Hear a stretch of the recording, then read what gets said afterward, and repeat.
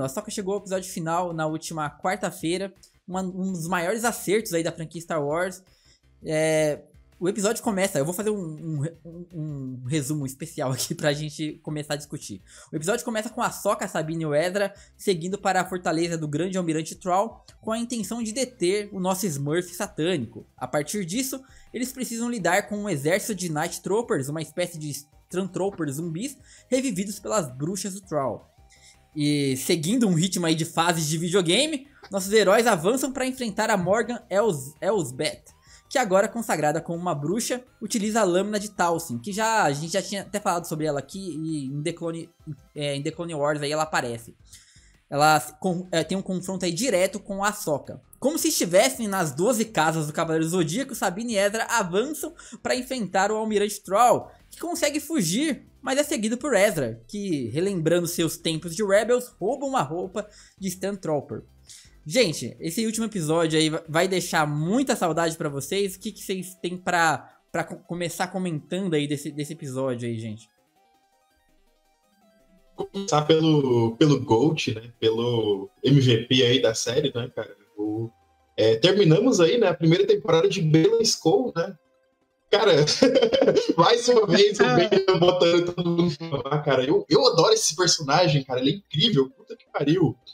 É, você tem aí um cara neutro que conseguiu o objetivo dele, né? Aquela, aquela imagem bonita pra caralho, né? Tipo, dele no braço, assim, do, do pai, né? Que é uma, uma figura, assim, é, milenar aí, meio mística, meio divina de Star Wars, né? E o que tudo indica, ele tá para reviver e provavelmente morrer no processo, né? A Abeloth, que seria irmã, né? Seria uma. O bicho-papão aí do universo de Star Wars, né? Ela é uma, uma espécie de deusa aí cruel, mágica. E é muito doido, cara, porque isso tá meio que acontecendo ao mesmo tempo que todo o plot do, do, Star, do Star Wars Ahsoka tá acontecendo, né? Ele, ele tinha alguma agenda particular e ele cumpriu essa agenda e a gente ficou com o, o resto. O que você achou, Gabi? Ah, cara, eu, eu gostei. Eh, fazendo um, um traço, traçando uma linha aqui com, com a série inteira, cara, eu gostei muito. Achei muito legal a, a série. Acho que ela fechou bem. Só que o Filone tá com dois problemas aí, né? É, o primeiro, é, será que ele vai continuar essa história com uma segunda temporada de Ahsoka ou vai juntar todos os outros universos no, no vindouro filme que ele prometeu fazer? Não sabemos, né? E o segundo problema é o Bayland ele, ele não teve ele teve um final ali em aberto. O que é um grande problema, porque o Ray Stevenson, o ator que faz o Bayland, morreu, cara. Pois é, então, bicho, temos um grande. O Filoni tá com um grande problema na mão, porque o, o Ray Stevenson entrega um, um, personagem absurdo, absurdo, assim. É, é muito bom a, a, atuação dele. Eu acho que vai ser difícil achar alguém que, que emule essa atuação, porque ele roubou a série para ele, né? É, e esse, esse é o grande problema, porque, pô, eu fiquei esperando realmente um, um, um fim pro, pro Bayland, né? Um, um, fim que ele já ia é, fazer o que ele, o que ele veio fazer dentro da série. E isso não acontece. E isso, isso meio que me frustrou um pouco. Deixar isso para um, uma próxima temporada. Isso, esse, esse, esse plot final do Bayland me frustrou um pouco. É, Especialmente eu... que não vai ter mais nada, né, cara? Não tem impossível ter algum é, cara, eu, disso, né? É, eu acho impossível esse cara não, não ter um é. request, é. sabe? Eu acho impossível o Bayland não ter um request, eu, sabe? É, eu acho bem difícil. Eu fico, eu fico ter, pensando né, assim que, primeiro, que o, o cara tem que a Disney, principalmente, né? Porque não é só ele que manda, tem esse negócio, né? A Disney, se a Disney falar, ele tem que é obrigado a fazer. Sim. Mas eu acho que é importante eles manterem a ideia principal, que era juntar isso num filme, porque a gente já tá construindo uma coisa. Isso aqui foi, tipo, muito acima da média do que eles fazem. E isso é, dá medo, porque quando é uma coisa, é um fenômeno, assim, que, que é tão bom, eles são, é bem capaz eles quererem falar, não, a gente tem que apostar tudo nisso aqui. E aí é um erro. Aí é um erro feio. Sobre o, o, o Balon, cara, eu fico pensando assim, se ele tá ali perto de liberar esse mal tão. Que, que a gente sabe que é, um, que é, uma deusa do mal ali do, do universo Star Wars, talvez a saída seja ele morrer ao libertar ela. É, não sei. Ao libertar ela. Porque é. eu acho que uma, uma coisa é, nesse nível de mal, até pelo, pelo que o Matheus me indicou e eu tava lendo sobre isso, eu acho que ela não deixaria ninguém para trás, sabe? Tipo, ela não deixaria ele vivo. Ela não seria grata a ele, tipo. Ela tá, se, ela, ela, sim, ela tá meio sim. que seduzindo ele com vo as vozes que ele escuta tal, pra ele faz, libertar ela. Mas depois que ele libertar ela, é meio que nem a Rainha dos Condenados, tá ligado? Ela vai matar ele e foda-se. mas eu acho assim. Eu, ah, a, e, eu até acho que assim, né? mano, é insubstituível. Difícil. Mas é até meio esquisito, cara, esse cara que é bem cinza, que tem aí uma agenda própria, ele deixa a Shinhat para trás exatamente porque ele tem medo que ela vá morrer, né? Ele não quer que a aprendiz dele morra. E aí ele vai lá e solta, tipo, no cu do universo um, um monstro é, milenar, tá ligado?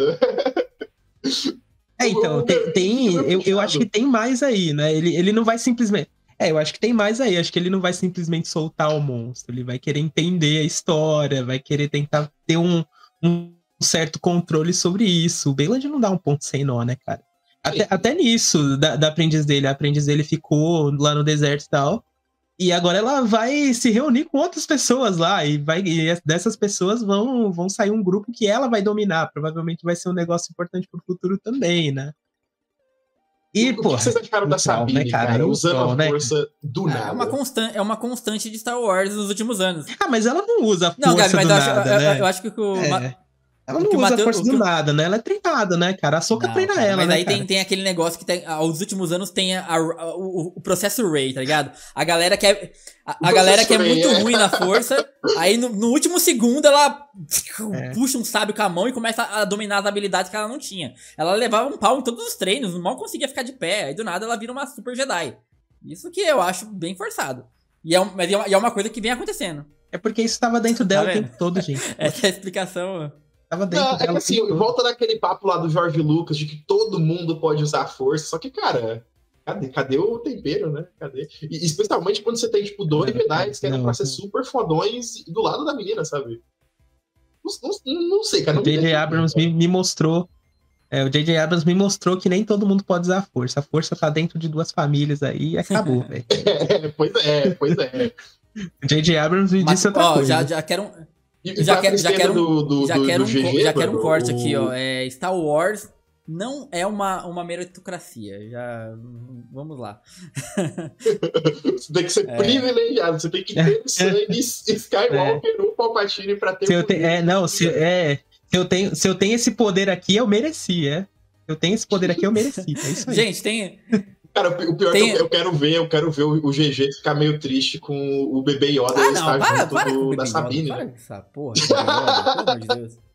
ela pode direito, ela é líder de Mandalor, cara. Então, em algum mando vai cruzar com ela e o Bebê Yoda vai entregar o sabre ah, pra ela. O Bebê Yoda tem que mamar que a, a, gente. Vou deixar do caralho.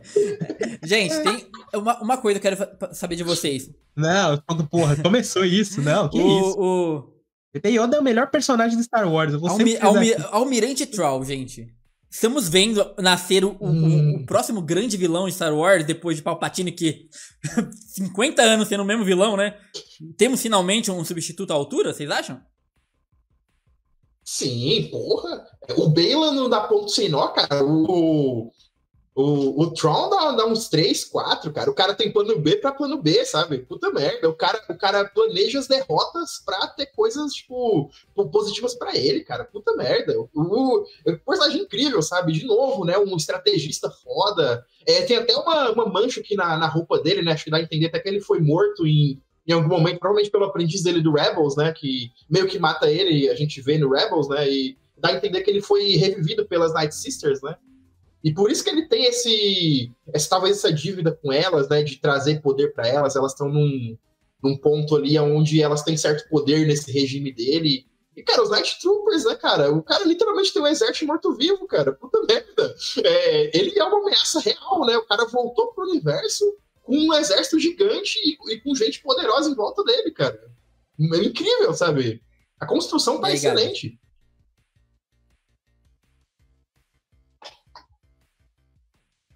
Gabi? Eu, eu, também gostei pra caramba desse, desse conceito dos, dos troopers zumbi, tá ligado? Acho eles, eles revivendo do nada, assim, eles levam os tiros, né, caem no chão e vão revivendo como mortos-vivos, como o filme do Romero. Porra, eu achei do caralho, cara, essa ideia. Achei muito legal mesmo, velho. Não esperava, na real. Bom, a, a, acho que a única coisa ruim, assim, isso vai ser um consenso, é que a gente vai ficar órfão por muito tempo desse, de, de, desse núcleo, né, cara? Vai demorar. Eu. Esse Vindouro, o filme, como, como, como o Gabi disse, eu não sei se eles têm pretensão de lançar pro cinema mesmo, ou se vai acabar sendo um projeto menor pro, pro Disney Plus. Mas, pelo que a gente viu, tem potencial para fazer um puta sucesso no cinema, hein? Você não tinha dito que, que tem uma, uma série do Ezra? É, sim, eles confirmaram também, uma, uma série do Ezra, mas eu acho que essa confirmação é mais pelo hype. Entendeu? É, pelo hype, né? Eu não acho que, tenha, eu não acho né? que seja nada programado, assim, que foi, nossa, eles pensaram numa série pro Ezra. Eu acho que ele, eles viram que, o, que esse núcleo dá muito certo, dá uma grana, e que assim, vamos lá, a, a série é da Ahsoka, mas eu, eu, até acho que é acertado, mas muitos episódios a Ahsoka nem não tem tanta importância quanto os outros personagens. Ela mal parece. Parece, parece muito mais uma é, série de Rebels, né? E na real, é, na real, real mesmo, é, na real, na real mesmo, é uma continuação de Rebels e não, não a série da Soca. Né? Não a série da Soca, é. Isso é mais como uma continuação de Rebels mesmo.